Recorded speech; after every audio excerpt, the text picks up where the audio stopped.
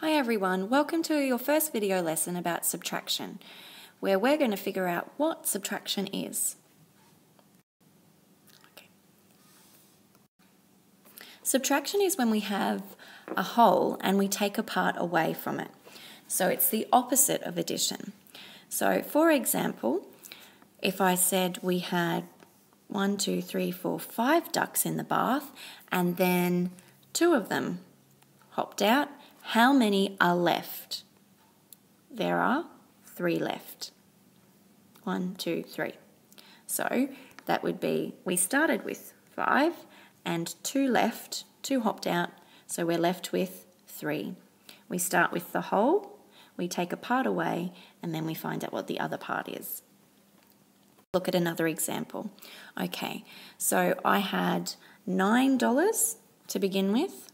One, two, three, four, five, six, seven, eight, nine. So there's my whole.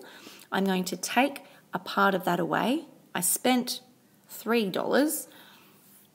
So take away 3 or subtract 3. How many am I left with? So what's left in this part over here?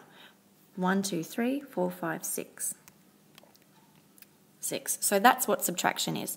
We start with the whole, we take a part away, and we find out what we're left with. More.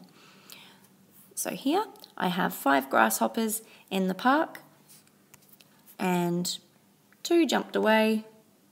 How many am I left with? So I started with a whole, which was five, and then two jumped away. So how many am I left with? What part is left down here? Three. So that's what subtraction is. Okay, guys, now you understand what subtraction means. Head on back over to the wiki to find out what your practice task is for today.